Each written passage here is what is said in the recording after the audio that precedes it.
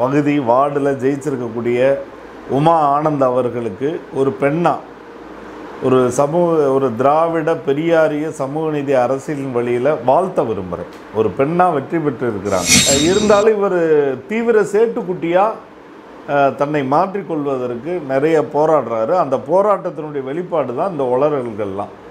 பாஜக மூன்றாவது அணியாக வந்துருச்சு நாலாவது அணியாக வந்துருச்சு அஞ்சாவது அணியாக வந்துருச்சு. அவங்க பிராமின் மட்டும் வரவேற்பாங்கன்ற தைரியத்தில் தான் அவங்க மேற்கு மேற்கு மாநிலத்தை தேர்ந்தெடுத்துருக்கிறாங்க. அவங்க ஒரு பெண் ஹச் ராஜா. ராஜாவினுடைய குளோனிங் அல்லது வீரிய ரகம் ஒட்டு ரகம் இப்படி எப்படி வேணால் பேர் வச்சுக்கலாம்.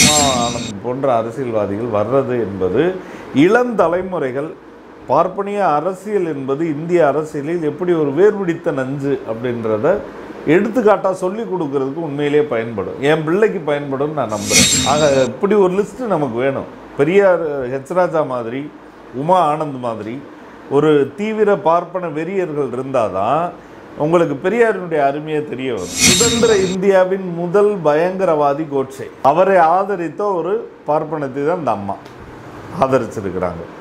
இவரை தேர்ந்தெடுத்தவங்க மேற்கு மாம்பழத்தினுடைய பார்ப்பனர். நாங்கள் ஒரு வாக்காளர் கூட ஒரு வார்டில் கூட காசு கொடுக்கலன்னு அண்ணாமலைக்கு சொல்வதற்கு நேர்மை திறம் இருக்கா அப்படின்னா கிடையாது. எங்களுக்கு தெரியும் எல்லா வார்டுலேயும் பாஜக தான் இந்த வேலையை பயங்கரமாக முயற்சி பண்ணுறாங்க நாங்கள் எங்கள் வார்டுகளில் தடுத்து நிறுத்துறோம். அதனால் இது சித்தாந்த வெற்றி அப்படின்னு பார்க்குறதுக்கு ஒன்றும் கிடையாது. அவங்க முதுகில் அவங்களே தட்டிக்கிற அளவுக்கு பெருமைப்படுற விஷயமும் இது இல்லை.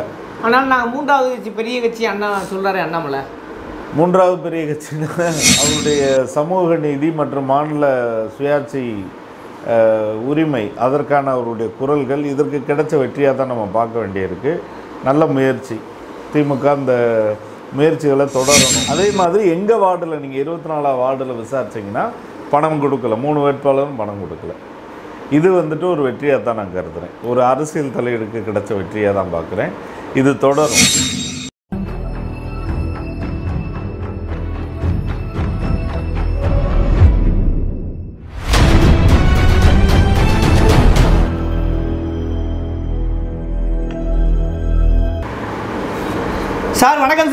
வணக்கம் சார் வணக்கம்.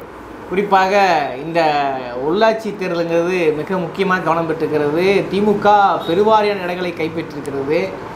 இந்த எலெக்ஷனை பொறுத்தல உங்களுக்கு ஒரு தனிப்பட்ட அனுபவம் இருக்குது நீங்களும் மதுரையிலிருந்து ஒரு குறிப்பிட்ட வாக்குகளை பெற்றிருக்கிறீர்கள். இப்போ இந்த திமுக பெரும்பாலான வாக்கு வித்தியாசம் எப்படி பார்க்குறீங்க?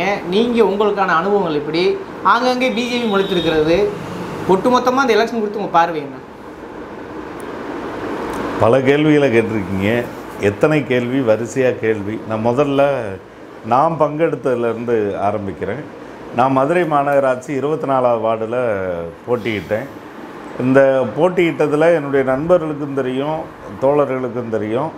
இது வெற்றி பெறுவது என்பதை நோக்கமாக கொண்டதல்ல. ஆனால் ஒரு ஜனநாயக அரசியல் தலையீடுக்கான ஒரு பங்கேற்பு. அந்த நோக்கத்தில் நாங்கள் வெற்றி அடைஞ்சிருக்கிறோமானா நிச்சயமாக வெற்றி அடைஞ்சிருக்கிறோம். மிக முக்கியமாக நான் வாக்காளர்களை பார்த்து வணங்க மாட்டேன் அப்படின்றத தீர்மானமாக எடுத்துக்கிட்டேன். அதே மாதிரி காசுக்கு பணம் கொடுத்து ஓட்டு கேட்கிறது இல்லை அப்படின்றத தீர்மானமாக வச்சுருந்தோம். அது மட்டும் இல்லாமல் கூட்டம் சேர்த்துக்கிட்டு உறவினர்களை மற்றவங்களை எல்லாரையும் கூட்டம் சேர்த்துக்கிட்டு போய் பிரச்சாரம் பண்ணுறது செய்ய மாட்டேன். எளிமையாக ஒரு சிலர் வந்து தான் நாங்கள் பிரச்சாரம் செய்வோம் என்பதையும் தீர்மானமாக எடுத்துக்கிட்டோம்.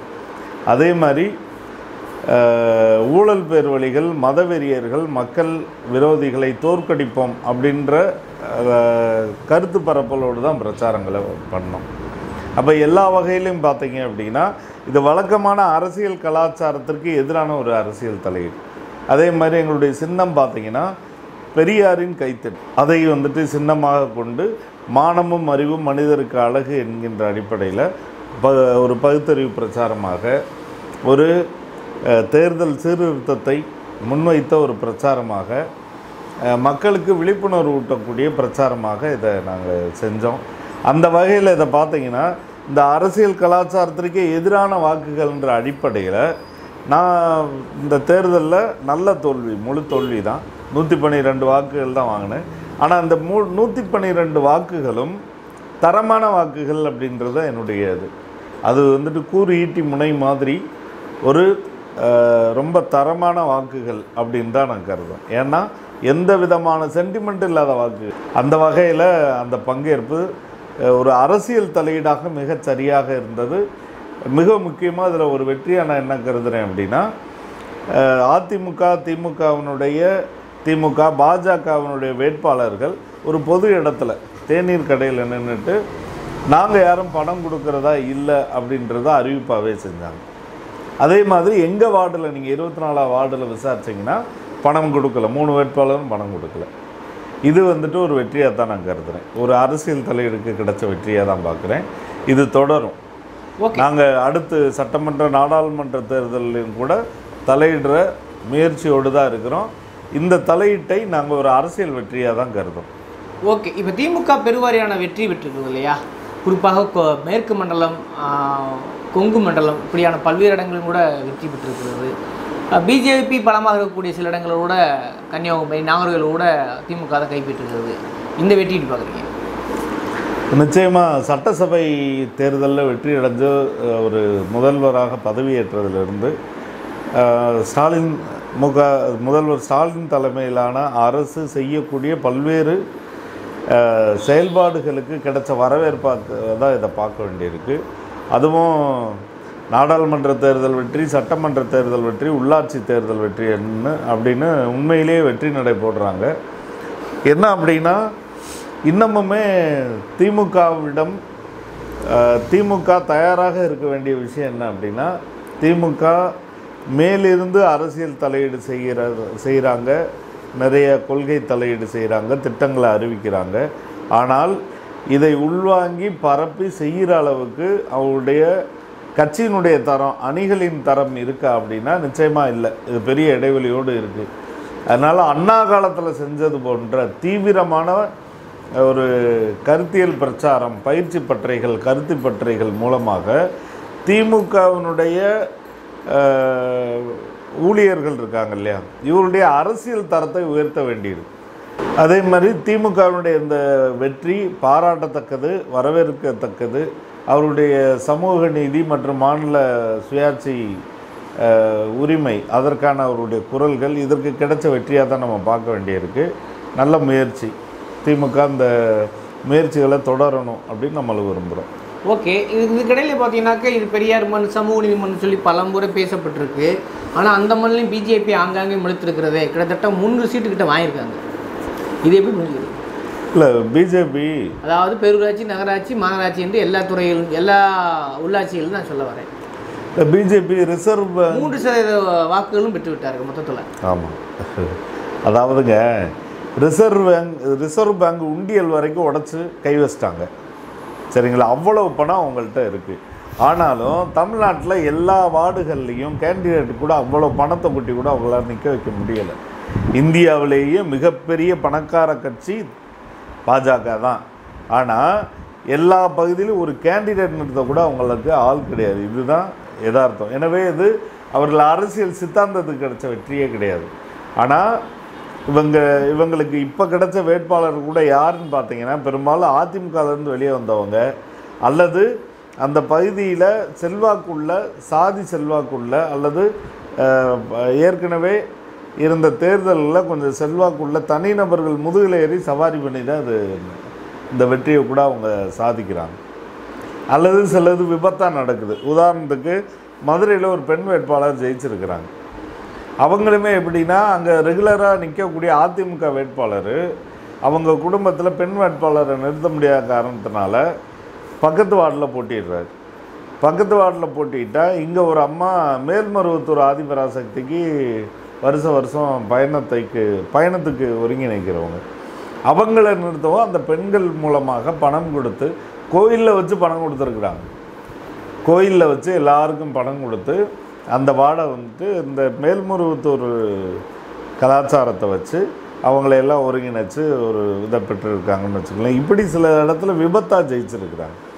அதனால் இது சித்தாந்த வெற்றி அப்படின்னு பார்க்குறதுக்கு ஒன்றும் கிடையாது. அவங்க முதுகில் அவங்களே தட்டிக்கிற அளவுக்கு பெருமைப்படுற விஷயமும் இது இல்லை.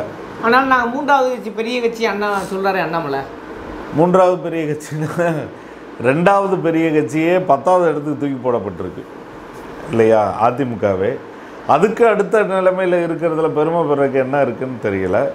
இன்னொன்று உங்களுக்கு கேண்டிடேட்டே நீங்கள் நிறுத்த துப்புள்ளி இவ்வளோ காசு இருக்குது அதாவது நாங்கள் யாருக்கும் காசு கொடுக்கலன்னு அறிவிக்க அது பெருமையாக சொல்லிக்கிறதுக்கு அண்ணாமலைகிட்ட ஏதாவது இருக்கா? நாங்கள் ஒரு வாக்காளர் கூட ஒரு வார்டில் கூட காசு கொடுக்கலன்னு அண்ணாமலைக்கு சொல்வதற்கு நேர்மை திறம் இருக்கா? அப்படின்னா கிடையாது. எங்களுக்கு தெரியும் எல்லா வார்டுலேயும் பாஜக தான் இந்த வேலையை பயங்கரமாக முயற்சி பண்ணுறாங்க நாங்கள் எங்கள் வார்டுகளில் தடுத்து நிறுத்திருக்கோம். ஒரு முறை கேள்விப்பட்டு காலையில் அதிகாலையில் போய் தெருக்கள்லாம் வளம் வந்து அதை தடுத்து நிறுத்தணும் இந்த மாதிரி அவங்க முழுக்க காசு கொடுக்குற ஒரு மோட்டிவில் இருக்கிறாங்க. மற்றவங்க மேலே குதிரை சவாரி ஏறி ஜெயிக்கிறாங்க. இதுக்கு பேர் வெற்றினே சொல்ல முடியாது. சித்தாந்த வெற்றி இல்லை ஓகே சார். இப்போ நீ சொல்லலாம் புரிஞ்சுக்க முடியுது. கோட்ஸு காந்தியை கொன்றது சரி. கோட்சேவின் பேத்தினான் கோட்சே வந்து நாட்டு பற்றாளர் அப்படின்னு பலமுறை சொல்லி கொண்ட உமானந்த் போன்றவர்கள் இப்போ சென்னையில் மாநகராட்சியில் கவனம் செஞ்சுருக்காங்களே இது எப்படி அட்ரஸ் பண்ணாமல் போக முடியும்? அது முதல்ல நான் சென்னையில் மேற்கு மாம்பலம் பகுதி வார்டில் ஜெயிச்சிருக்கக்கூடிய உமா ஆனந்த் அவர்களுக்கு ஒரு பெண்ணா ஒரு சமூக ஒரு திராவிட பெரியாரிய சமூக நீதி அரசியலின் வழியில் வாழ்த்த விரும்புகிறேன் ஒரு பெண்ணாக வெற்றி பெற்று இருக்கிறாங்க. அதுக்கு வாழ்த்துக்களை தெரிவிக்க விரும்புகிறேன் அடுத்த விஷயம் குலத்தொழில் மட்டுமே பார்ப்பனர்கள் செய்ய வேண்டும் என்கிற சனாதனத்தை குழி தோண்டி புதைக்கக்கூடிய வகையில் பொது வாழ்க்கைக்கு வந்து ஒரு வார்டு கவுன்சிலராக போட்டியிட்டு கவுன்சிலராகவும் இன்றைக்கி ஆகி பெண்ணுரிமையை நிலைநாட்டி பெரியாரின் மகுடத்திற்கு ம அழகு சேர்த்திருக்கக்கூடிய உமா ஆனந்திற்கு மறுபடியும் ஒரு வாழ்த்துக்களை தெரிவிக்க விரும்புகிறேன். சரிங்களா? மூணாவதாக என்ன அப்படின்னா சுதந்திர இந்தியாவின் முதல் பயங்கரவாதி கோட்சே. அவன் ஒரு மனித மிருகம். இந்தியாவிலே இருக்கக்கூடிய சில மனித மிருகங்கள் தான் அந்த மனித மிருகத்தை ஆதரிக்குது. அவரை ஆதரித்த ஒரு பார்ப்பனத்தை தான் இந்த அம்மா ஆதரிச்சிருக்கிறாங்க. இவரை தேர்ந்தெடுத்தவங்க மேற்கு மாம்பழத்தினுடைய பார்ப்பனர்கள். அப்போ இவர்களை இந்திய ஒன்றியமே புரிஞ்சுக்கிறது தமிழ்நாடே புரிஞ்சுக்கிறதுக்கான ஒரு வாய்ப்பு. அது மட்டும் இல்லை காந்தியை கொண்ட அந்த கொலை வழக்கில் குற்றம் சாட்டப்பட்ட அந்த அத்தனை பேரும் பார்ப்பனர்கள். ஒரு எட்டு பேரோ பத்து பேரோ நினைக்க அத்தனை பேரும் பிராமின்ஸ் மராட்டி பிராமின்ஸ். அப்போ பார்ப்பனர்கள் காந்தியை கொலை பண்ணால் கோட்ஸே பிராமின் அப்படிப்பட்ட கோட்ஸேவை ஆதரிக்கக்கூடிய உமா ஆனந்து பிராமினு அப்படிப்பட்ட உமா ஆனந்தை வெற்றி வேட்பாளராக தேர்ந்தெடுத்த மேற்கு மம்பளத்தவர்கள் பார்ப்பனர்கள். இப்போ இந்த சூழ்நிலையை புதிய தலைமுறை புரிந்து கொள்வதற்கு மிக அருமையான ஒரு உதாரணமாக உமா ஆனந்தை தேர்ந்தெடுத்திருக்காங்க. அது மட்டும் இல்லை தமிழ்நாட்டில் பெரியாரை ப்ரொமோட் பண்ணது யாருங்க? எந்த பெரியாரிஸ்ட்டுங்க ஹெச் ராஜா மாதிரி ஒரு பெரியாரிஸ்ட்டு வேற யாருங்க? ஹெச் ராஜா தாங்க பெரியாரையே வந்துட்டு பிரபலப்படுத்தினார். ஆக இப்படி ஒரு லிஸ்ட்டு நமக்கு வேணும். பெரியார் ஹெச்ராஜா மாதிரி உமா ஆனந்த் மாதிரி ஒரு தீவிர பார்ப்பன வெறியர்கள் இருந்தால் தான் உங்களுக்கு பெரியாரினுடைய அருமையை தெரிய வரும். ராமசுப்பிரமணியம் போன்ற ப- ப- பார்ப்பனர்களே இருக்கக்கூடியவங்க தம தமிழ்நாட்டினுடைய சமூக நீதி அரசியல் இந்த போக்குகளை ஓரளவு சரின்னு நம்பக்கூடிய ஆட்கள் ஆட்கள்லாம் இவர்கள் பிராமின்களுக்கு மிக மோசமான கெட்ட பேரை சம்பாரித்து கொடுக்குறாங்கன்றது அவங்களுடைய குற்றச்சாட்டு. சரி எஸ்வி சேகர்லாம் கூட இப்போ என்ன பேசுகிறாருன்னா மனுநீதி மாதிரியான குப்பை சட்டங்களை தூக்கி போடுங்க. அதெல்லாம் இப்போ பேசாதீங்க காலாவதி ஆயிடுச்சு இந்திய அரசியல் சட்டம் அதுதான் அனைவருக்குமான சட்டம்னு எஸ்வி சேகர் பேசக்கூடிய ஒரு காலகட்டத்தில். இல்லை இல்லை என்று பார்ப்பனிய விஷத்தை கேட்கக்கூடிய இது போன்ற அரசியல்வாதிகள் உமா ஆனந்த் போன்ற அரசியல்வாதிகள் வர்றது என்பது இளம் தலைமுறைகள் பார்ப்பனிய அரசியல் என்பது இந்திய அரசியலில் எப்படி ஒரு வேர்பிடித்த நஞ்சு அப்படின்றத எடுத்துக்காட்டாக சொல்லி கொடுக்கறதுக்கு உண்மையிலேயே பயன்படும். என் பிள்ளைக்கு பயன்படும் நான் நம்புகிறேன் அதனாலேயும் நான் வாழ்த்த விரும்புகிறேன் இல்லை சார் என்ன இருந்தாலும் உமா ஆனந்த்ன்றவங்க போல்டாக சித்தாந்தத்தை பேசி வெற்றி பெற்றிருக்காங்கன்னு புரிஞ்சுக்க முடியாதா என்ன? இல்லை அதுதான் சொல்கிறேன் உண்மையிலே போல்டாக பேசியிருக்கிறாங்க. அந்த போல்ட்னஸை யார் மட்டும் வரவேற்றிருக்காங்கன்னா பிராமின் மட்டும் வரவேற்றிருக்காங்க. அவங்க பிராமின் மட்டும் வரவேற்பாங்கன்ற தைரியத்தில் தான் அவங்க மேற்கு மேற்கு மாநிலத்தை தேர்ந்தெடுத்துருக்கிறாங்க. அவங்க ஒரு பெண் ஹெச் ராஜா.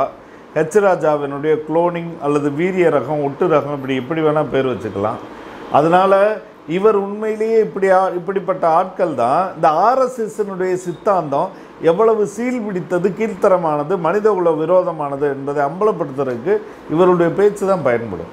எனவே இப்படிப்பட்ட ஆட்கள் வெளியே வரணும். இவ்வளோ நாள் ஒளிஞ்சிட்டு இருந்தாங்க. இப்போ தான் வெளியே வர்றாங்க. புத்துக்குள்ளே இருந்து வர்ற மாதிரி.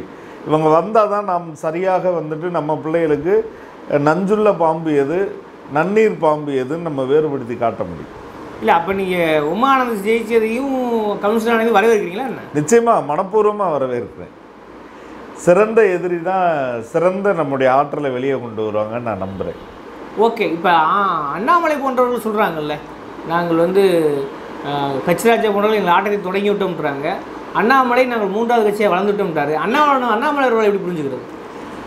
அண்ணாமலை அண்ணாமலை கவுண்டர் மக்களுக்கும் நல்லது செய்யலை. பிற்படுத்தப்பட்ட தாழ்த்தப்பட்ட மக்களுக்கும் நல்லது செய்யலை.